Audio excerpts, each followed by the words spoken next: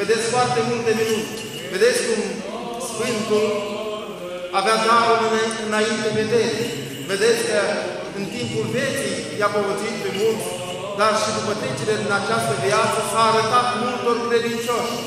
Noi ne-am permis să prezenția voastră știind de suferința, de necazurile, de problemele, de greutățile care sunt acolo în Basarabia. Ne-am permis prezenția voastră și vă rog să ne dați binecuvântarea ca seară să în numele credincioșilor noștri, a Consiliului Parohial, Comitetului Parohial, să inițiem un colectă pentru Basarabia.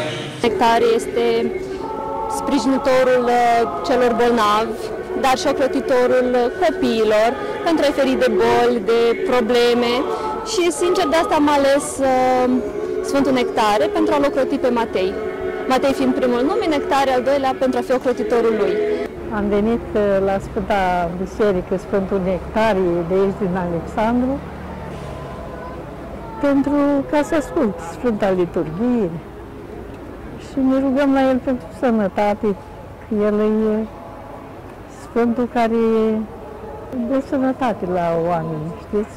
Am o evlavie deosebită deoarece vin împreună cu familia mea, cu soția și copilul mai nou, de 2 ani de zile.